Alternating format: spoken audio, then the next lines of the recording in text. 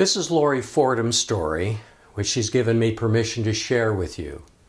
It reveals how brain change and thinking differently eliminated her need for bariatric surgery, which, as you're probably aware, includes gastric bypass, lap band, and other similar surgeries. Obesity was the outcome of a nearly lifelong challenge with weight management for Lori. She couldn't find the key to unlocking the door of long term weight loss. She tried an untold number of diets that promised results that were never fulfilled. If she lost weight, it returned, and on some diets, she actually gained additional weight. As you can appreciate, frustration and declining health became her joint companions. Finally, the medical recommendation was made that she should have bariatric surgery. As she pondered what she should do, Lori listened to that intuitive voice that questioned whether or not she could really lose the weight.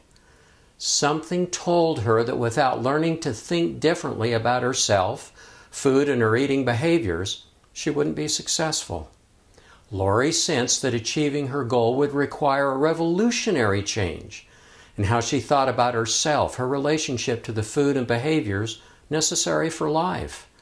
Lori began searching on the internet to see if there was any program or organizational focus that aligned with her intuitive feeling. Lori's search took her to our website. She said that the focus and instruction she found there lined up exactly with her needs.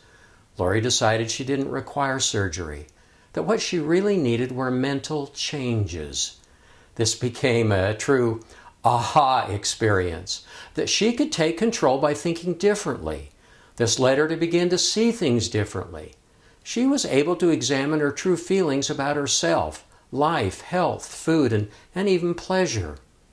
Lori didn't like vegetables, but even the taste of these foods changed, becoming more pleasurable as her brain change progressed. By working to change her thoughts with a new focus on what was important in her life, Lori began to eat differently. She talked about herself in a different way, more positively. Food stopped being her best friend and became the fuel for energy. Well, here is the result of this revolutionary focus. Her health has improved, and now she doesn't need bariatric surgery. Lori learned that the first step in long term weight loss is brain and thought change. With that underway, she could change her body.